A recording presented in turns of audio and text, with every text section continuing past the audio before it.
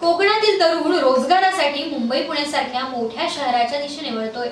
कोकणात रोजगाराची पुरेशी संधी उपलब्ध नसल्याने कोकणातील तरुणांना स्वावलंबी बनवण्यासाठी मोठी समस्या निर्माण होते आर्थिक अडचणींचा सामना करावा लागतोय शिवाय खेड्यापाड्यात सुविधा नभावी शासकीय योजनांची पुरेपूर माहिती देखील उपलब्ध होत नाही.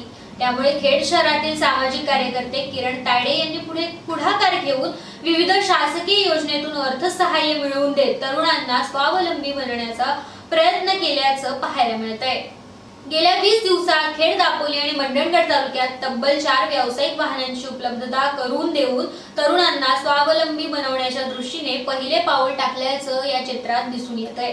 त्यांच्या या प्रयत्नात यश देखील मिळत असून रत्नागिरी जिल्ह्यातून चांगला प्रतिसाद लावत असल्याचं पाहायला मिळतंय. त्यामुळे ज्यांना व्यवसायाची इच्छा आहे अशा तरुणांसाठी किरण तायडे हे वरदान ठरणार असल्याचं मत सर्वसामान्यांमधून आता व्यक्त केलं जात आहे रत्नागिरी जिल्ह्यामधला जो आपला तरुण आहे तर कुठंतरी उद्योगधंद्यासाठी नोकरीसाठी प्रत्येक वेळेला मुंबईचे हेलपाटे घालत असतो.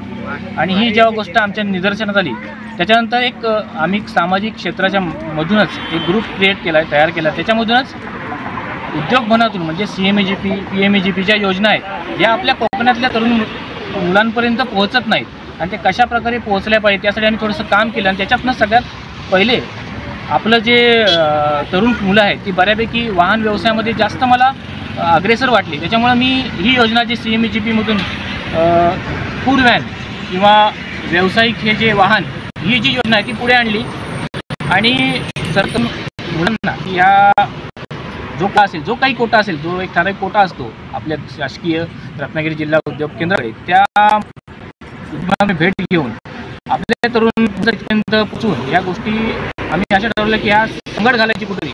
आणि या गाड्यांचं वाटतं आम्ही त्या माध्यमातून त्या सबसिडीच्या माध्यमातून जवळपास पस्तीस टक्के सबसिडी या योजनेमधून मिळते आणि ह्या आपल्या कोकणातल्या तरुण मुलांना त्याच्याबद्दल माहिती नाही आणि त्याच्यासाठीच आम्ही हा जो वाटप गाडी गाड्यांचं वाटप आणि हा व्यवसाय मार्गदर्शन आम्ही ह्या योजनेतून करतो.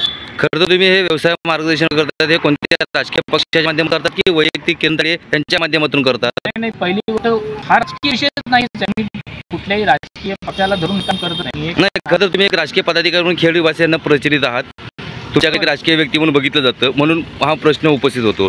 नाही नाही राजकीय हा वेगळा विषय आहे. राजकारण आणि समाजकारण ह्या दोन गोष्टी वेगळ्या आहेत. हे दोन वेगळ्या टोकाच्या भूमिका आहेत. तिकडे ते बघत नसताना फक्त समाजकारण आणि माझा तरुण मुलगा तरुण आमच्या इथे असलेला प्रत्येक व्यक्ती हा व्यवसाय झाला पाहिजे. घरी चार घास जाता पाहिजे या- त्याचीच मी काम करत असतो. त्याच्यामुळे राजकीय हा विषय वेगळा राहिला. आणि त्याच्याशी या गोष्टी जोडत नाही. सामाजिक काम करतो आणि सामाजिक काम करत राहणार. आणि तळागाळातल्या मुलांना मला इथल्या स्वयं रोजगार माध्यमातून पुढे न्यायचं आहे. यासाठी आम्ही हे काम करतो. आता ह्या योजनेच्या माध्यमातून खेड तालुक्यात वगैरे किती तुम्ही गाड्या दिलेले आहेत किंवा किती तरुणांना रोजगारी संधी उपलब्ध करून दिलेत? बरोबर खरोखर महत्वाचं आहे कारण फक्त आम्ही आता आमचा फक्त वीसचा दिवस आहे आणि ह्या वीस दिवसामध्ये आम्ही ही चौथी गाडी रत्नागिरी जिल्ह्यात आणलेली आहे.